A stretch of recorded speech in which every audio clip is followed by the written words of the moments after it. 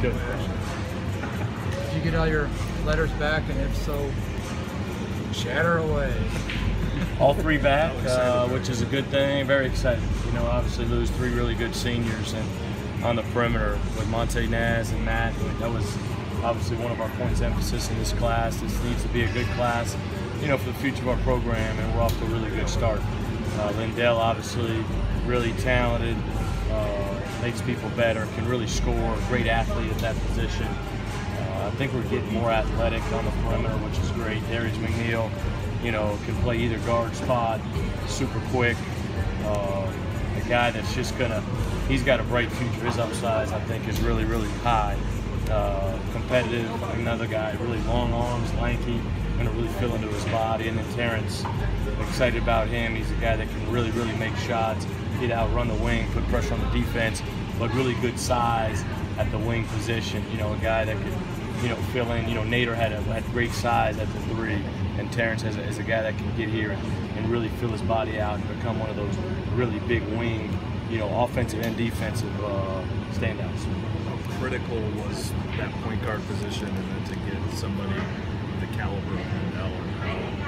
It's really, it's. I mean, I think you got to have great guards, and I think we've got, you know, Terrence. I would consider Terrence a, you know, guard slash wing, but I think we've got two really good guards in Lindell and Darius. But uh, to get Lindell into our program, you know, going forward is huge. He's a freshman. Excuse me. He's a guy that can come on campus day one and, and that's ready to compete physically, uh, mentally, just from the competition that he's used to going against at Oak Hill uh, for the last three years. And he's a guy that's, when you talk to Coach Smith up there, has gotten better and better over his last three years. And one of his most improved guys that East Coast. And so, really happy with him and excited, you know, to coach him. So you're starting point guard a year from Friday? Yeah, I, I'm not. I keep going all that stuff. Once once he committed, how hard did you have to work on it? Because there were people trying to flip him. I mean, right? Am I right, right or wrong? I probably talk to him every day. I, I don't know if I've missed a day, probably. Yeah. You know, and now he's in the he's in the mountains in Virginia, so he doesn't get much service. So, you know, it's really a text conversation. I probably every day since April. You know, since we first found out about him and heard about him, and you know, uh, our staff did a great job of you know being persistent, uh, building really good relationships with his family. His, his family's great people. Uh, Coach Smith was great in the process, and so you know, we're we're we're ecstatic to have him. Were other people trying to flip him? People are trying to get him, I'm sure. I mean, he's a good player. Do you do that too, uh, though? I mean, No. conversely. No, no once they're committed, I don't believe in that. That's not that's not what this this business should be about. You know, if a kid calls me that's committed, I'm going to tell him you need to, you know, you need to decommit before I start recruiting. I just don't believe and that's how things go. You know, we, we got, you know, we had a situation like that, you know, but I'm going to do things a certain way. The programs I run are going to do things a certain way. How much does this class help you just moving forward in terms of building what you hope to do at Iowa State? I think it's huge. I mean, it's you know, I think to, to be a great program over the longevity, and this player program over the last five years has had great players. You know, the fifth year guys that's coming here, the transfers, the junior college kids. But when you really look at the mainstays, who do you think about? Melvin Ejim, Niang, Monte Morris. You know, just to name a few. Those guys have been here through through you know four or five years to where you get those good high school kids in here that are going to be here and get better and get better and get better. And then you add your, your necessities through the junior college ranks through transfers through fifth year.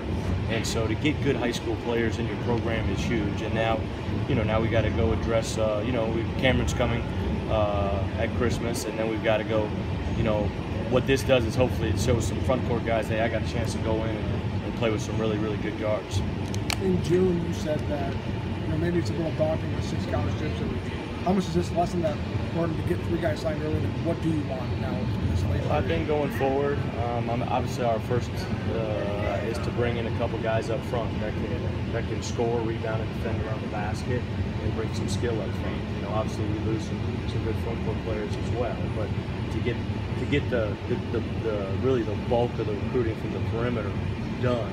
Uh, you know, we may take a transfer in the spring, things like that, but get the bulk of the recruiting done in that area is, is big. And now our points emphasis all, all go to the front court, whether that's fifth year, whether that's junior college, or whether there's a high school kid, you know, out there that can still come in and help us.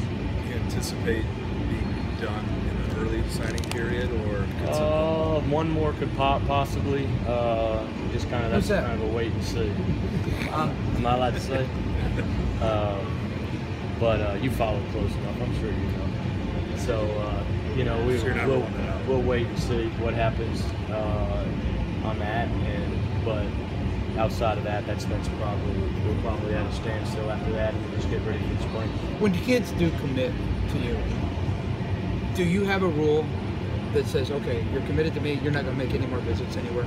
Yeah, yeah, yeah. That's just kind of the that's that's how it should work. That's that's how I you know that's why I said once you you know don't don't commit you know unless you're all in if, that's what your heart. So if a kid, if you found out a kid, a kid committed to you, but yet you discover that he's visiting, I don't care where, yeah, Louisville, Mississippi, I don't care where, you're done with it.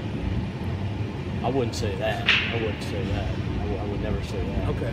But you know that that's you know I, I don't want to get into too many particulars. But, Yeah. uh, you know recruiting's recruiting, and so you got to recruit to the very end. That's why I'm ecstatic to get these three guys on board and, and get ready to coach them next year. do the two or three extra scholarships? Do those need to be not high school kids just to even out the classes? I, I do you would think? take, like I said, I'd take one more high school front court Yeah. guy. Uh, but then I think everything else going forward is from the junior college, fifth year transfer ranks. Savannah State at 23s the other night. Are you expecting a little bit of an up and down game? Yeah, a, they, they get up and down. You know, I've watched uh, their exhibition games. Uh, you know, playing a lot different than they did last year. Uh, really getting up and down. They press. Uh, they put a lot of pressure on you. They play extremely hard. Horace Broadnax was a, a Georgetown legend. I remember I grew up watching him play because I lived in Northern Virginia in, in his heyday, and so we used to actually work camp together. I don't know if he remembers this. I think he does. He probably will. We used to work camp together when I was in college in Florida. I'd see him every summer down there. We'd be working camp together. But uh, so he does a great job. Uh, but they do. They play hard. They're very, very athletic. Uh, they're going to put pressure on you basically the whole game. Uh, we've got to do a good job taking care of the ball, getting back in transition. But the one thing they can do, you watch the ball, you watch tape on them, they can spread you out uh, and they can really make shots. And so we've got to do a good job of keeping the ball in front, but but at the same point containing, excuse me, contesting shots. So, what are you looking to learn from your team in these first few games here? just continue to get better. Continue to, you know, now we kind of know from this scrimmage, excuse me, this exhibition game, what do we got to continue to work on this week, and keep making strides to get better over the next couple weeks until we head head down to Florida. And so I think the schedule is great for this team.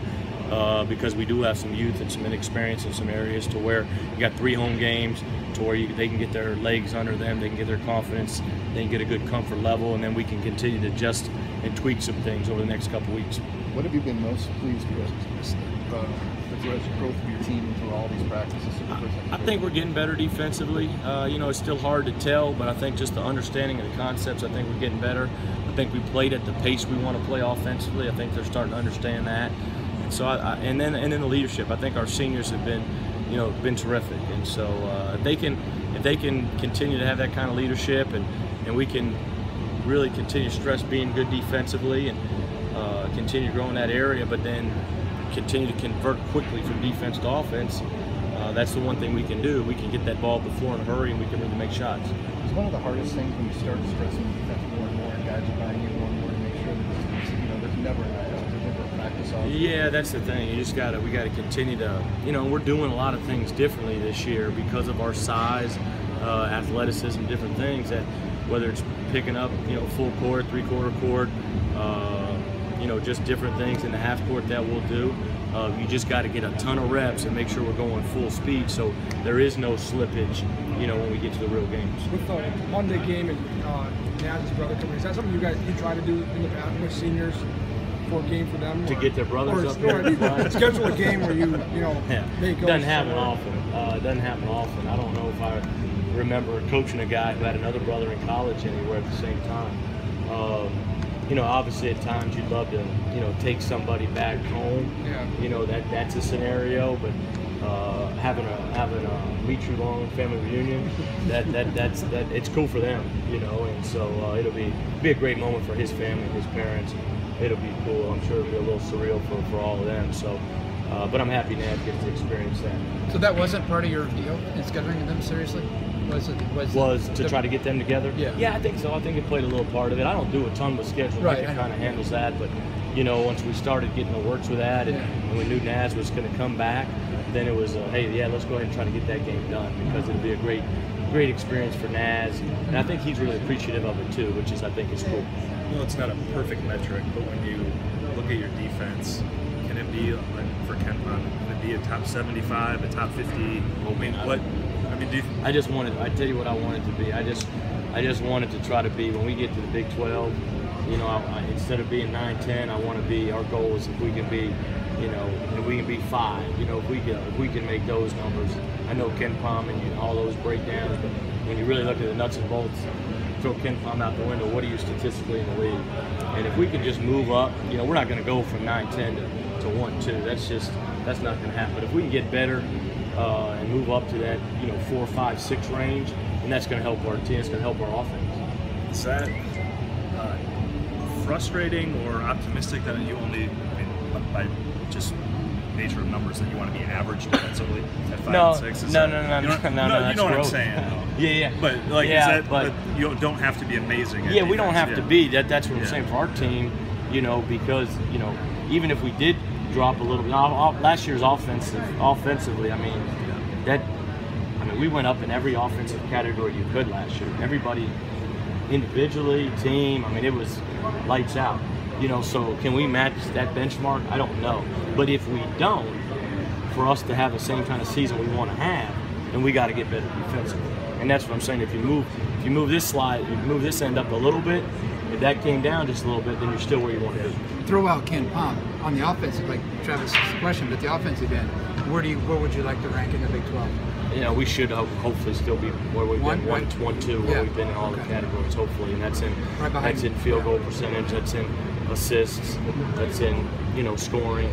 Uh, you know, hopefully we, we can do that. But if we can continue to share the ball, uh, make the extra pass, that's these guys are used to doing that. I think we'll have a chance to do that. Thank you. All right, Thanks, guys. Steve.